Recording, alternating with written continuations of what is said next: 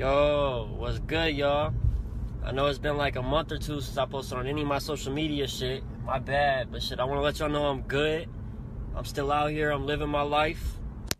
For real, I just wanted to fall back off on my social media shit for a little minute and put all my focus on my music. So, shit, I ain't been posting nothing. I've been working on music every day, being in the studio as much as I possibly can, just, just working on new shit for y'all, man.